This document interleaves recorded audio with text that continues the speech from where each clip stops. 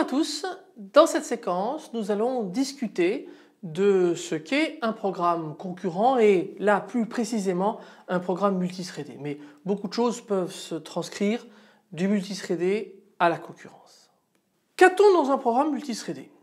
Bon, On va voir des traitements séquentiels et euh, quand c'est exprimé en Java, eh bien, vous allez les exprimer en implémentant la méthode run de l'interface runnable et donc vous allez encapsuler l'objet qui implémente runnable dans une thread. Et vous allez pouvoir manipuler le cycle de vie d'une thread à travers certaines primitives, par exemple wait, par exemple sleep, par exemple yield. En gros, provoquer des commutations ou vous suspendre ou vous mettre en attente. Euh, et puis vous allez avoir des objets partagés. Donc ça c'est les, flux. Hein. Et puis vous avez euh, ici des objets partagés qui vont être synchronisés et pour cela vous allez devoir donc définir qu'avez-vous en section critique qui euh, va falloir manipuler dans des sections critiques. Comment vous allez définir la portée de ces sections critiques de manière à minimiser leur taille parce que plus vous les minimisez, plus il y aura de parallélisme potentiel, mieux ça ira. Bien évidemment, il ne faut pas sacrifier à du parallélisme de la cohérence. Voilà. Donc en fait, on a en tout des threads, on a des objets qui sont partagés et en général, on a au moins une thread parce qu'il faut considérer que le programme principal, la classe principale, eh bien en fait, elle va s'exécuter dans une thread à part. C'est la première et unique thread qui démarre si vous n'en lancez pas d'autres. Et puis c'est elle qui va probablement lancer bah, des threads qui peuvent elles-mêmes lancer des threads, etc., etc. Dans les exemples qu'on a eu jusqu'à présent dans les séquences, on avait tout qui était lancé par le programme principal, mais bien évidemment, ça n'est pas une fatalité. Alors en fait, ce qui est délicat dans l'approbation système, c'est qu'il est difficile d'ignorer des aspects que je qualifierais de système. C'est-à-dire qu'on va se poser des questions. Vous avez vu, pour expliquer par exemple des problèmes euh, d'indivisibilité, il a fallu qu'on descende quand même assez bas euh, dans à la fois le fonctionnement du système d'exploitation et le fonctionnement du processeur. Donc on ne peut pas ignorer ces aspects. Donc vous avez besoin d'avoir une idée relativement précise des mécanismes sous-jacents qui sous-tendent l'exécution euh, d'un programme sur une machine, sur un processeur, en général maintenant multicœur.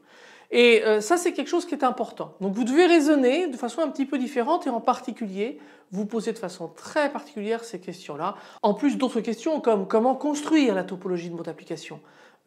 on imagine qu'on a par exemple un système de processus thread euh, structuré en anneaux, hein, bah, la structuration en anneaux, elle ne se fait pas par l'opération du Saint-Esprit, il faut la construire. J'ai déjà évoqué dans une autre séquence les problèmes qu'on pourrait avoir pour décider de la terminaison. Bah, là aussi, ce n'est pas l'opération du Saint-Esprit, il faut faire des choses. En guise de conclusion, je vais évoquer un certain nombre de notions importantes que nous allons ensemble découvrir au cours des prochains chapitres qui euh, s'égrèneront à travers les séquences qu'on verra les, semaines qui vont suivre. Et la première de ces notions, c'est le moniteur. Euh, le moniteur, c'est une notion qui a été, une entité qui a été introduite par euh, Sir Charles Anthony Hall, anobli par la reine, euh, d'Angleterre. Donc c'est un très grand informaticien anglais. il a introduit cette notion en 1974.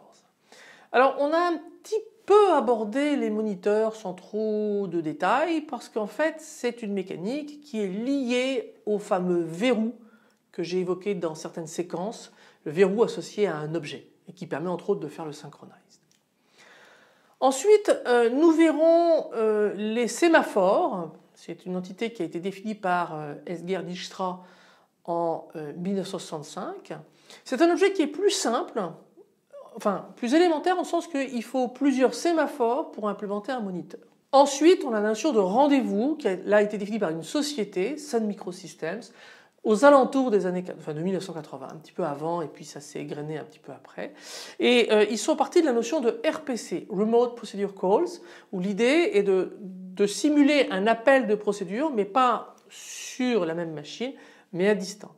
Alors en fait, la véritable implémentation du Remote Procedure Call, c'est sous un système qui s'appelle RMI, Remote Method Invocation, qui permet d'invoquer depuis un objet A vers un objet B euh, une méthode de l'objet B depuis l'objet A, sachant que A et B ne sont pas sur la même machine et qu'il y a le réseau entre eux. Mais sous certaines conditions, on peut penser que ça correspond à de l'appel de méthode. En particulier si vous avez un objet A qui appelle une méthode d'un objet B, que A s'exécute dans une thread et que B s'exécute dans une autre thread, on est dans des situations assez similaires à euh, ce qu'on trouve dans le RPC. Et euh, cette notion est la notion support principale du parallélisme dans un langage comme ADA par exemple. On a également une autre notion assez importante qui peut être assimilée à du multi-rendez-vous, du de synchronisation, ce qu'on appelle le co-begin co-end. Alors ça c'est la fin des années 50, c'est les premiers, tout premiers mécanismes. Et en particulier ça a été beaucoup utilisé dans des langages comme OCAM, on retrouve euh, Tony Orr, parce que Tony Orr a travaillé, fait partie des gens qui ont défini ce langage. Je vous en ai un petit peu parlé parce que, enfin je vous en ai pas parlé directement, j'ai évoqué dans une séquence le transputeur et c'était le langage qui permettait de programmer le transputeur. Et on avait deux actions principales, l'action pas euh, sec qui sec ABC fait A puis B puis C et par par ABC fait A en parallèle de B en parallèle de C, mais on ne quitte le par que lorsque A puis B puis C sont tous les trois terminés. Évidemment, on pouvait avoir euh, par de ABCD. Et en fait, les programmes dans un langage comme OCAM étaient simplement synchronisés à l'aide de cette notion puisqu'on imbriquait des secs dans des parts ou des parts dans des parts ou des etc. Voilà. Et c'est comme ça que ça fonctionnait. Donc on verra rapidement ce type de notion, enfin pas la notion parce qu'elle n'existe pas du tout celle-là en Java, mais on trouve des mécanismes qui ressemblent et en particulier euh, les barrières de euh, synchronisation. Je vous remercie de votre attention. À bientôt.